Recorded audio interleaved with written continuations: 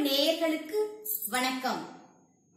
மனிதன் ஒருவனுக்கு பல பெயர்கள் இருப்பது போல அம்பிகைக்கும் பல உருவங்கள் உண்டு. இந்த ஆடி மாதத்தில் வடக்கே இமாச்சல பிரதேசத்தில் பர்வத ராஜகுமாரியாக பிறந்தவர்.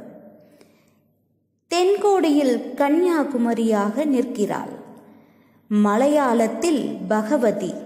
கர்நாடகத்தில் சாமுண்டீஸ்வரி சோழ நாட்டில் ஸ்ரீ அகிலாண்டேஸ்வரி பாண்டிய நாட்டில் மீனாட்சி ஆந்திராவில் ஞானாம்பிகை மராட்டியத்தில் துலஜா பவானி குஜராத்தில் அம்பாஜி பஞ்சாபில் ஜுவாலாமுகி காஷ்மீரத்தில் சூரபவானி உத்தரப்பிரதேசத்தில் விந்தியவாசினி வங்காளத்தில் காளி அஸ்ஸாமில் காமாக்கியா.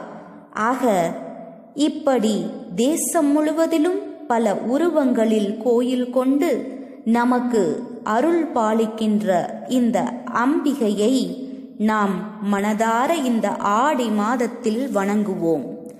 ஆடியை தேடி பிடி என்ற பழமொழி உண்டு. ஏனென்றால் அம்சங்கள் நிறைந்த அம்பிகையின் மாதம்.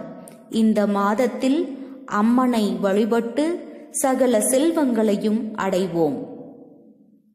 மனிதன் ஒருவனுக்கு மீண்டும் நல்லதொரு பதிவில் சந்திக்கிறேன். நன்றி வணக்கம்.